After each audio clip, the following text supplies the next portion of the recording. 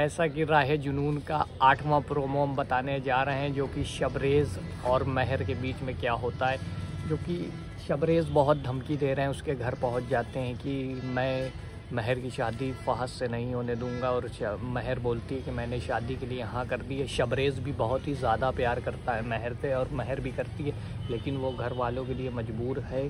देखते हैं क्या होता है। लेकिन अगर महर जी से मेरा एक कहना है कि अगर वो घर वालों की मजबूर से थी तो उन्होंने शबरेज़ से प्यार नहीं करना चाहिए था। प्यार करो तो पहले ही सोच लो कि घर वाले क्या कहेंगे, ये, वो।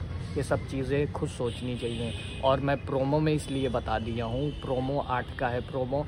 बहुत ही ज़्यादा ज़बरदस्त नाटक है। मुझे लगता है इसके एपिसोड ज़्यादा नहीं आएँगे 20-25 के अंदर ही एंड हो जाएगा। अब आगे आ जाएँ तो मुझे नहीं पता, क्योंकि शबरेज़ बहुत जुनूनी लड़का है, वो जा रहा था जान देने तो महर ने ही उसे बचाया था कि ये आप क्या कर रहे हैं, वहीं से होती है शबरेज़ और महर की मुलाकात।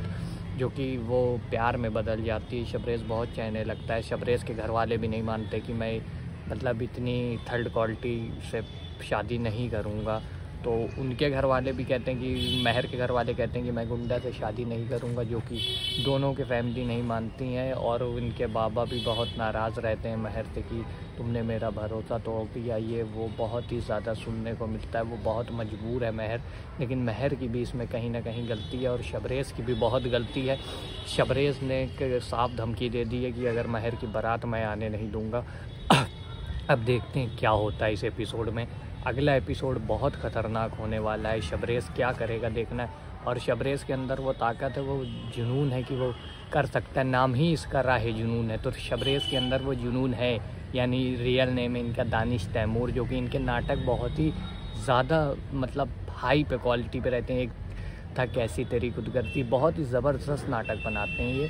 क्योंकि ये है आर्ट का प्रोमो बहुत ही ख़तरनाक होने वाला है ये नाटक। आप लोग पूरा देखें, ये मज़ा आ जाएगी ये ड्रामा। पाकिस्तानी ड्रामा बहुत ही ज़्यादा दिल को छू जाते हैं, बहुत ही ज़्यादा दर्दनाक कहानी है। मोहब्बत सबको मिल जाए, मेरी यही रिक्वेस्ट है, दुआ है दरख्वास्त है, क्योंकि और अगर आपको वीडियो अच्छी लगी तो चैनल को सब्सक्राइब और शेयर करना ना भूलें वीडियो। इतनी शेयर कर दो कि हर मोहब्बत करने वाले को हर मोहब्बत मिल जाए। Share this video.